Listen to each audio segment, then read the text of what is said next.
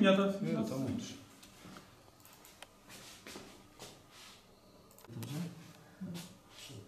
Şimdi dur hocam. Işık verin biraz. Çok net şu anda var ya.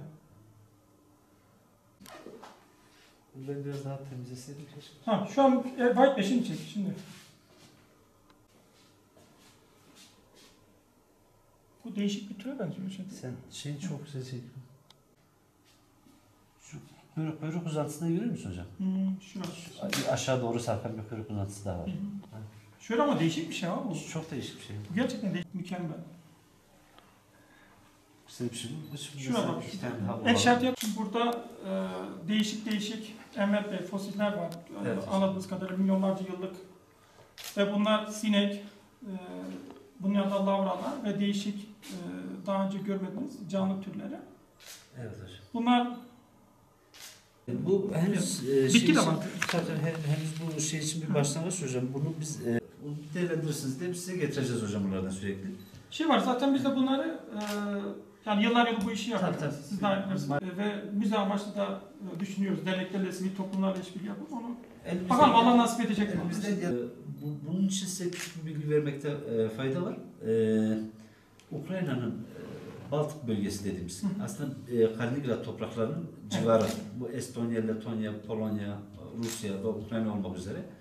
E, bu bölgede e, bir afet oluşumunun bir e, mirası. E, bu e, reçineyi salgılayan ağacın türü yok dünyada. Hı hı. Türü bitmiş. Zaten mineral özelliğinin de orada ol- olduğu söyleniyor.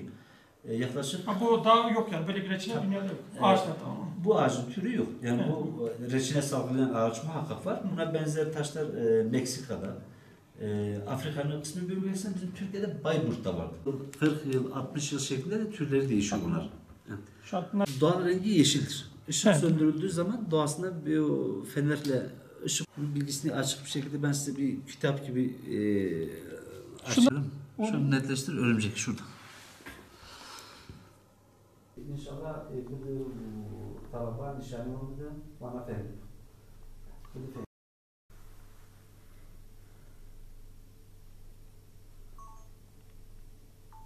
Nerede? Onları ben size atarım. Ben işte bunu saatlerce böyle tabi temizliğe temizliğe.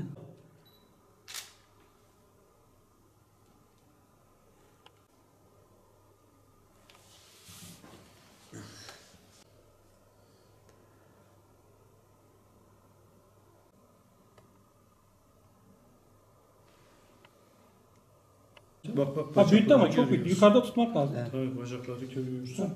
O Biraz bacalar tek. Böyle. Çekirge gibi bir şey.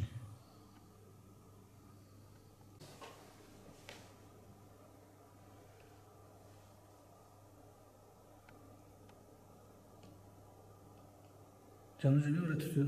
Dedim Allah Allah. tüküreceğim dedim şeyine de kehribarına da kıymeti Bıkmışım da. E düşün hocam millet. Hiç şey yapmanın. Ha, çektiniz mi? Bu nedir?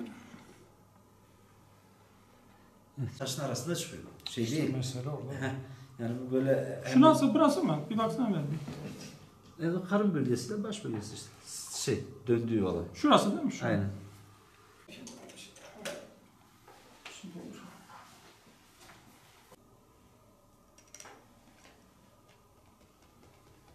Ee, şeylerinde de yandan vurup üstten taşa bakın. Ha bravo. Şimdi.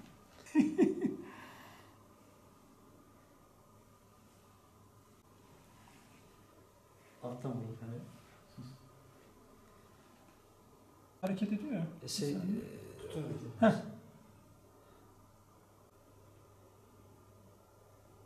şöyle yanına geçip parmakla şu. Ha böyle daha başında çek. Çok net çıktı böyle.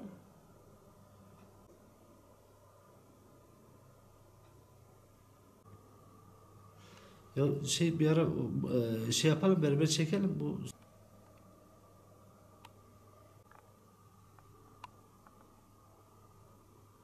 Oldukça örümceği andırıyor. Ha işte şurada sen Ee, öyle yapacaksın işte. Çok belirgin şu anda.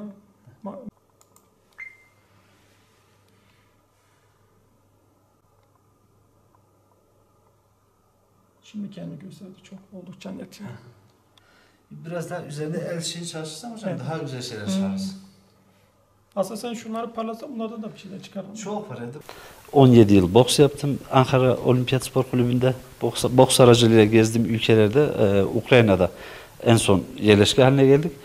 Ukrayna'da da e, bu amber dediğimiz taşla tanıştım. E, bunu Türkiye'den isteyen arkadaşlarımız olunca bunu Türkiye'de kıymet bulduğunu fark ettik. Bunun ticaretine yöneldik. E, bu süreçte 4,5-5 yıl boyunca uğraşıp maden sahasını e, kiralayıp işletmeye başladık.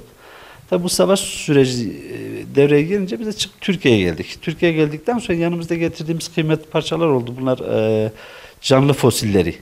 E, taşların içinde bulunan canlı hayvan türleri ve bitki fosilleri olan taşlarımızı Türkiye'ye getirdik. Türkiye'de Can hocamızla tanıştık. Kendisiyle bu taşlara olan ilgisinden dolayı gençlere de bunu aktarmak çabasını biz gördükten sonra bizim de bir katkımız olsun niyetiyle kendisine bu fosilli taşları vermeye karar verdik. Hediye ettik. Dilerim gençliğe daha iyi şeyler aktarır ve biz de ilerleyen zamanlarda da daha çok katkımız olur diye düşünüyorum.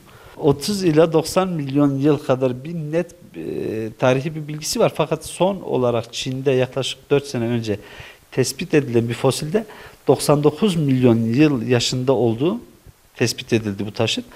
E, bu taşın en büyük özelliği e, sıradan bir reçine değil. Yani bu taşı salgılayan ağaç türünün son bulması. Yani bu türü yok bu e, reçineyi salgılayan ağacın. Yoksa doğal olarak her ağaçta reçine var. Bu da taşlaştırılıp takı olarak kullanılabilir. Fakat bu kıymette, bu değerde olmaz. Bunun en büyük özelliği 90 milyon yıl, 30 milyon yıl, 40 milyon yıl bölgesel değişiyor. Tabi bölgesel kazı alanlarda bu tarihler değişiyor. E, elde edilen fosilleri biz e, mümkün mertebede Cihan hocamız, Cihan hocamız gibi kıymetli hocalarımıza getirerek araştırmalarına katkıda bulunacağız inşallah. Uzun yıllardan beri doğa ve uzay gözlemleri yapıyorum ve gözlemlerimi kayıt altına alıp belgesel yapıyorum herkese. E, bunun yanında taşla da oldukça ilgim var ve dünyanın her tarafından taş koleksiyonu oluşturduk. Tabii biz bunu e, bir amaç dahilinde yapıyoruz. Bunları gençlerle bu- buluşturup bir seminer dahilinde gerek ilkokul, gerek lise, gerek üniversite onlarda farkındalık oluşturup doğa bilincini kazandırmaya çalışıyoruz ve bunun yanında ileriki projelerimiz içerisinde eğer Allah nasip ederse sergi ve e, müze tarzında etkinlikleriyle bunları daha fazla gençlerle buluşturup inşallah güzel şeyler yapacağız. Bunun yanında sağ olsun Enver Bey e, koleksiyondaki çok değerli e, taşları, kehribar taşları, çalıştığı Ukrayna sahası içerisinde e, edindiği güzel taşları bu amaçla bu doğrultuda e, bize hediye ettiler sağ olsunlar. Yaptığımız ön incelemede bu taşlar 30 ile 90 milyon yıl arasında olduğu e, tahmin ediliyor.